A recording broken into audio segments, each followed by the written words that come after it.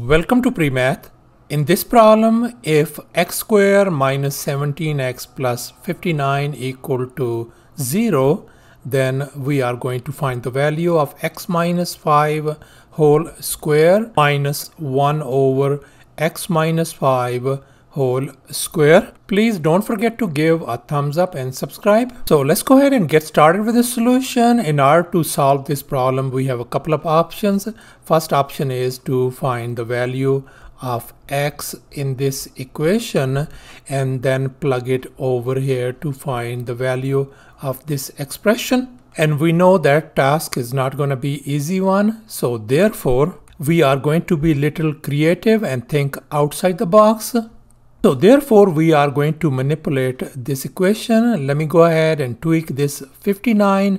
I can write 59 as 60 minus 1. It doesn't make any difference whatsoever. And here in this next step I have replaced this 59 by 60 minus 1. And now let's go ahead and move this uh, negative 1 on the right hand side. So we ended up with x square minus uh, 17x plus 60 equals to positive 1. Now we are going to find the factors of this quadratic part on the left hand side. I am going to tweak this negative 17x. I can write this one as negative 5x minus 12x. And now we can see that x is in common between these first two terms and here negative 12 is in common between these two last two terms. So therefore we can factor out x over here. So we got x minus 5 and here let's factor out negative 12. So we got x minus 5 equals to 1 and here we can see x minus 5 and x minus 5 is in common. So therefore I can write this thing x minus 5 times x minus 12 equals to 1. And now let's go ahead and divide both sides by x minus 5 over here and x minus 5 over here. And here we can see x minus 5 and x minus 5 is gone. So we ended up with x minus 12 equals to 1 over x minus 5. And now let's go ahead and tweak this negative 12. I can write negative 12 as negative 5 minus 7. And here in next step, I wrote down this negative 12 as negative 5 minus 7. Doesn't make any difference whatsoever.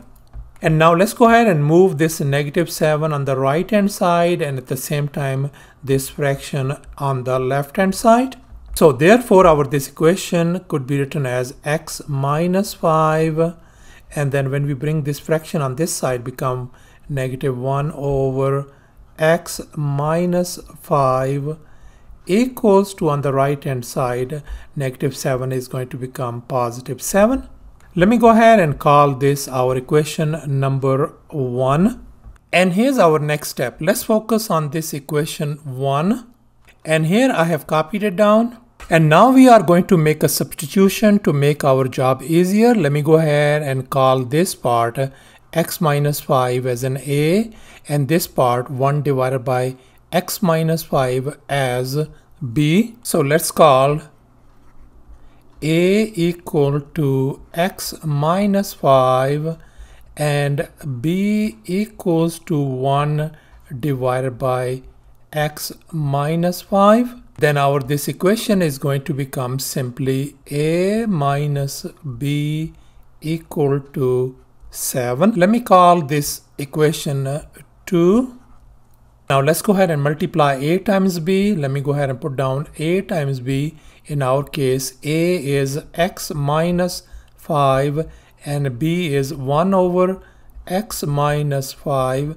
They cross each other out. So therefore, our a times b is going to be simply 1. Let me call this as our equation number 3. And now let's focus on this uh, expression over here x minus 5 whole square minus 1 over x minus 5 whole square and we know that a equals to x minus 5 and b equals to 1 over x minus 5. So therefore this expression is going to look like a square minus uh, b square and we are going to find the value of this one. And now let's recall this famous identity a square minus b square. So therefore I can replace this one a square minus b square as a minus b times a plus b. And we are going to find the value of this expression. But we know our a minus b value is 7 so therefore I'm going to replace this a minus b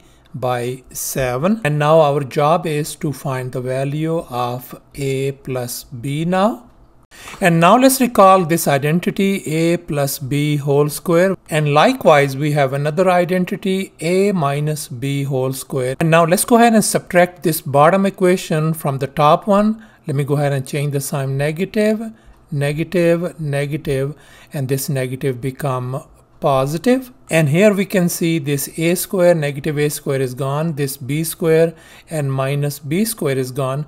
So we simply ended up with a plus b whole square minus a minus b whole square equal to 4ab and now our a minus b value is 7 so therefore I'm going to replace this one by 7 and likewise a times b is 1 so therefore we got a plus b whole square minus 7 square equals to 4 times 1 and this could be written as a plus b whole square minus 49 equals to 4 and now let's add 49 on both sides. This is gone. So we simply ended up with plus b whole square equal to 53 let's go ahead and take the square root on both sides so this square square root is gone. So our a plus b value turns out to be square root of uh, 53 and now let me go ahead and call this our equation number 4 and here's our final step. We figured out our a minus b value which is 7 and a plus b value from equation 4 is square root of 53 So thus our final value turns out to be 7 times square root of 53. So thus our value for x minus 5 whole square minus 1 over x minus 5 whole square turns out to be 7 times square root of 53. Thanks for watching and please don't forget to subscribe to my channel for more exciting videos. Bye.